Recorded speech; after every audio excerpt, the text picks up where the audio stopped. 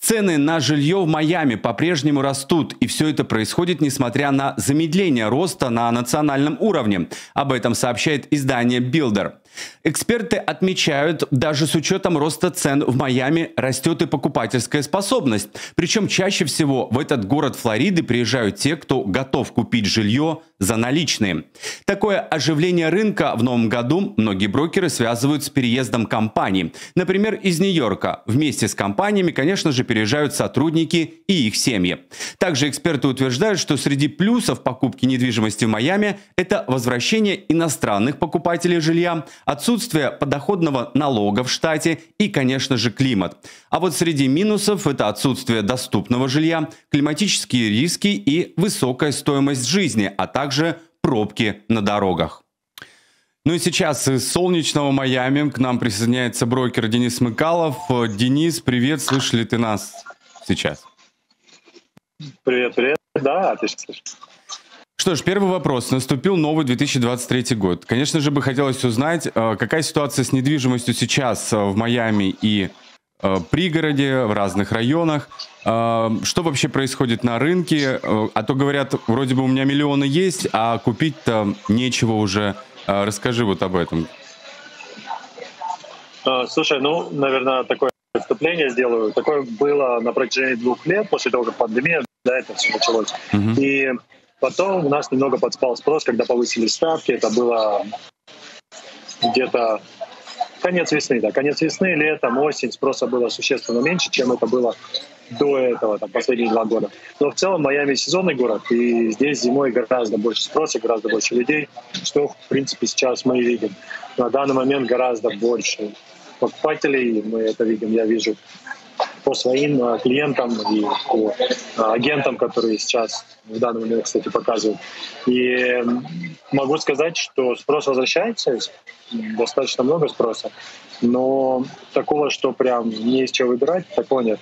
Рынок более спокойно становится, люди некоторые э, более становятся адекватными в плане, как сказать, в плане продавцы, да, в плане цен, которые они хотят за свою недвижимость. Допустим, я даже смотрю объекты, вот, к примеру, я смотрю дома, есть объекты, которые люди выставляли, ну, для примера, там, для, за 4 миллиона выставляли, потом выш, понижают там, на 300 тысяч, потом еще на 200, потом еще на 300. Mm-hmm. И ты видишь, что этот дом выставлен был за 4 миллиона, а потом он стоит за 3 300, за 3 200. И тут я, так скажем, зная это изнутри, понимаю не то, что здесь что-то не так с рынком, а это именно что-то не так было с этим объектом, так как продавец э, слишком завышенно его выставил, потому что там, год назад, полтора назад рынок такой был сильно горячий, ничего mm-hmm. не было, люди разбирали прям все. Э, конечно, почти все. Такое бы все равно не забрали, но вот некоторые люди пытались да, на этом как-то максимально заработать. Mm-hmm. Поэтому сейчас такой более спокойный рынок, я бы сказал. Ну, то есть можно говорить о какой-то э, стабилизации, да, сейчас, э, так или иначе? Да, да, более э, ну, стабилизации, коррекции, можно, если так mm-hmm. выразиться. Поэтому да, до этого был рынок рынок продавцов, такой прям горячий-горячий рынок продавцов, что не есть чего было выбирать, mm-hmm. причем в любых бюджетах, прям вот в прямом смысле слова, там 10, 50, 200, там, 5, я имел 10-50 миллионов долларов, да, знакомого увидел. Кстати, брокер из Нью-Йорка. А, ну вот. На встречу, на встречу пригласил Дима. Хорошая мафия, да. Да, и также в небольших бюджетах, там по 200, 300, 500 тысяч, все просто разбиралось. И поэтому сейчас более спокойный рынок, который нормализуется. Да, Денис, вопрос. А, можно ли какой-то э, привести пример а, появления нового комплекса, э, где вот, например, ты продаешь недвижимость? Что там с ценами и э, какие есть условия? Что вот ты покупаешь, если а, обращаешься к тебе? Вот какой-то пример. Я могу несколько примеров. Ну, допустим, чтобы далеко не ходить, сейчас я нахожусь в русскоговорящем районе, здесь приехал на встречу, и здесь есть пару объектов. Один из них Бентли, резиденция Бентли. Это один из таких ну, наверное, необычный проект, как я бы его назвал, потому что э, у него есть лифт, который может доставлять вашу машину в квартиру, независимо от того, на каком этаже она находится, там, в 10, 20 или 60 этаже. Это такая уникальная вещь. Другой проект — это. Regis. Также известный бренд, он уже известный именно в hospitality, в гостиничном бизнесе.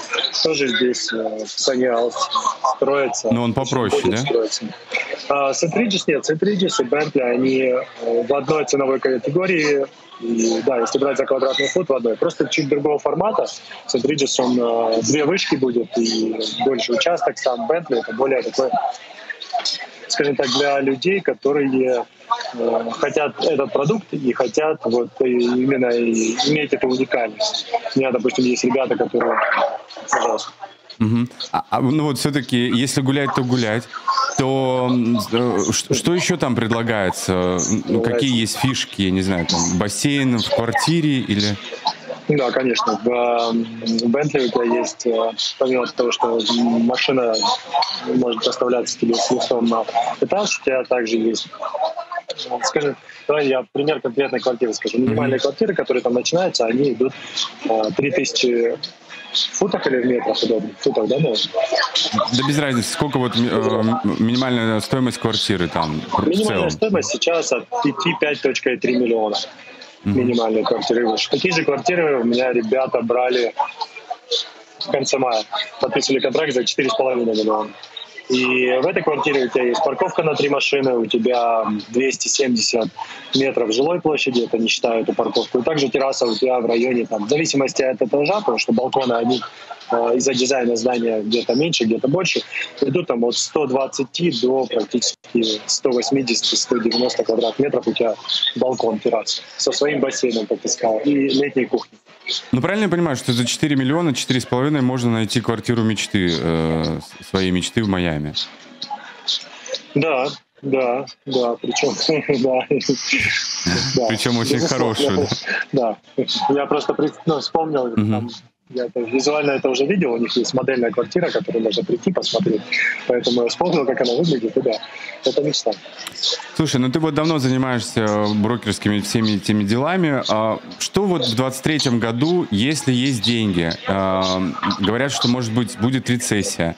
Mm-hmm. Куда бы лучше вложить? То есть это все-таки апартаменты или это там, частные дома, которые в округе тоже, да, в Майами очень популярны? А, и, быть может, есть какие-то районы, о которых уже забыли, а вот сейчас наши подписчики увидят и, например, могут там куда-то поехать, посмотреть и приобрести дом, там, обратившись к тебе, потому что много информации забывает. Ну, давай постепенно, да. А, если есть деньги, то во что вкладывать? А, ну, я начну, наверное, с того, что это всегда индивидуально, потому что mm-hmm. часто бывает, ты начинаешь разговор с клиентом, который тебе говорит, я рассматриваю, к примеру, там частный дом в одном районе, и вот это хочу. В итоге мы заканчиваем совсем другим районом, и мы заканчиваем другого формата недвижимости, которую даже не рассматриваем. Вот, кстати, один из примеров. Недавно ребята также интересовались. Mm-hmm. Вот, а теперь расскажу. Если это, допустим, пример э, для сугубо инвестиций, человек вообще не собирается сюда приезжать, к примеру, ему нужна там, есть у него, ну давай миллион возьмем для для ровности, он может взять номер в отеле, который будет сдаваться и приносить ему а, доходность 5 5-6% чистыми годовых. Это есть несколько отелей, с которыми я давно уже работаю. И это при условии, что человеку неинтересно вообще там жить, неинтересно заниматься управлением, потому что отель сами это все делают. А на вре... люди, которые... Извини, Денис, перебью. А на время да, можно да. будет приехать отдохнуть, ну, самому вот этот отель, там выбрать какой-то месяц, например, а потом пусть дальше сдает? Эм, Все зависит от отеля. Чаще всего, да. Я тебе скажу, допустим, W отели, которые на Майами Бич есть, так, ты можешь там приезжать. Единственное, у них есть blackout days, называется. Mm-hmm. Это когда там Новый год, самые такие горячие даты, они сами хотели бы сдавать, потому что там цены доходят в районе двух с половиной тысяч за обычный номер за сутки. И есть отель, вот, к примеру, Аквалина здесь, в Сани Аус. Mm-hmm. Там у меня есть у одних ребят э, номер в отеле, и его нельзя пользоваться. Они, мы, я тебе скажу больше, мы его даже не видели. Когда купили, они его даже не видели, я его даже не видел. Это мои постоянные клиенты, они уже лет 7-8 купили со мной. Когда мы это покупали, они говорят, Денис, говорит, ну такого я еще говорит, не видел. Это мы с тобой давно работаем, но говорит, что покупать что-то, что мы даже не можем посмотреть. Я говорю, Роман, бери. Не переживай. Да, потому что там ты смотришь на доходность, это же э, когда ты смотришь на инвестиции, ты должен смотреть только на доходность, э, если смотришь на такого формата инвестиций. Если ты, допустим, рассматриваешь этот объект использовать в будущем для себя, то это люди, конечно же, тоже должны иметь в виду, но и чаще всего имеют. Допустим, у нас сейчас из Нью-Йорка клиенты, привет, Юрий, если будете смотреть, они рассматривают покупку здесь э, квартиры в, в, одной, в одном издании на первой линии, для того, чтобы в будущем все... Вот, Извиняюсь. Да, прервалось. Меня сейчас... Ну, то есть да, в будущем переехать, да, или как? Э, да, да, я, я просто это, мне позвонили, я на угу. свит поставил. Для того, чтобы в будущем использовать эту квартиру для себя, переехать. А пока она, э, чтобы не простаивалась, они хотят ее сдавать там несколько лет. Поэтому тут у каждого свои э, запрос. Mm-hmm. Допустим, ребята, которые берут новостройках, да, это чаще всего предприниматели, для которых интересно э, подзаработать, потому что ты, когда берешь на этапе строительства, цена она первоначальная и э, вырастает по времени mm-hmm. стройки. И плюс у тебя э, нет необходимости выплачивать всю сумму сразу. Так как идет стройка, и ты вносишь по частям. И для тех, кто предприниматели, ну, чаще, да, или там доктора, адвокаты, у них есть возможность, допустим, оплату это вносить поэтапно. Поэтому все индивидуально под каждого человека. Ну да, вот главное заинтересоваться этим вопросом, э, чтобы были деньги, а потом обратиться, ну, не знаю, к тебе, например, да, и э, уже изучить э, все, что необходимо. А, вопрос следующий. Вот э, в новом году, который наступил, очень важно, наверняка, э, кто хочет приобрести недвижимость или будет продавать э, недвижимость в Майами, во Флориде, есть ли какие-то новые правила, которые вступают или вступили в силу в этом году, а, о которых должны знать потенциальные продавцы, потенциальные покупатели? Ну, я могу так на скидку сказать, что единственное одно из таких известных правил, которое вступило, но оно никак, в принципе, не влияет там, на продажу недвижимости. А, это угу.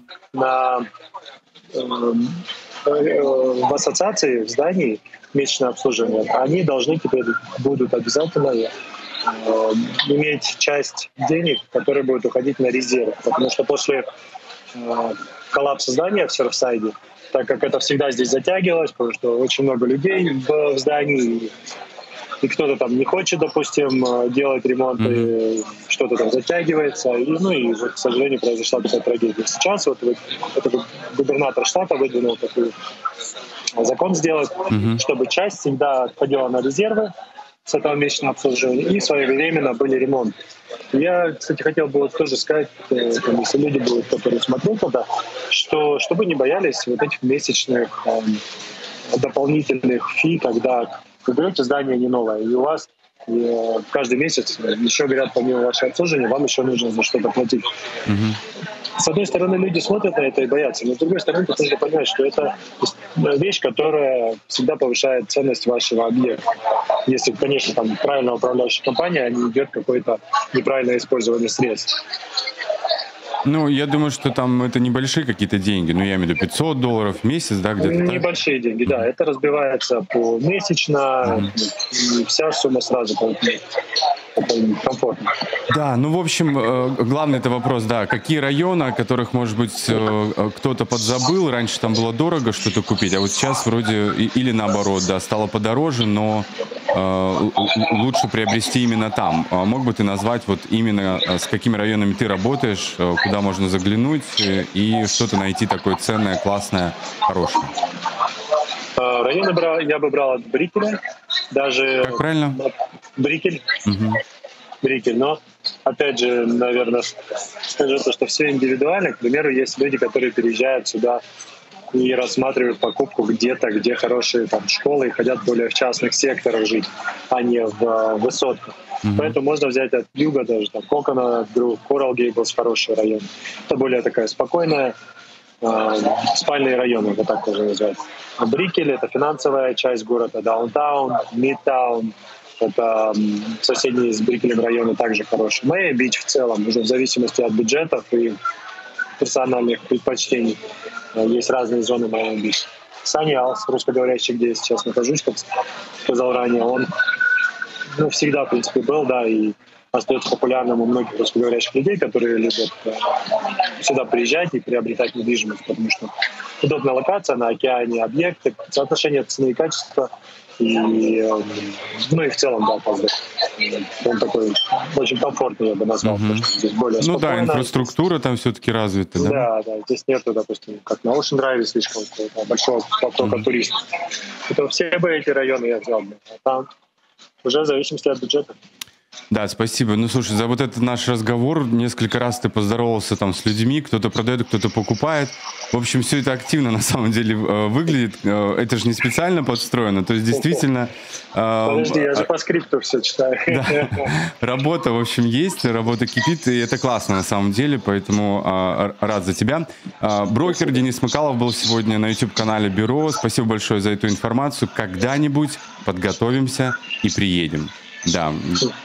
Поговорили. До встречи. Спасибо большое. Буду в Нью-Йорке, кстати. Наберу через пару А, да, нет проблем. Спасибо большое. Давай, рад был видеть.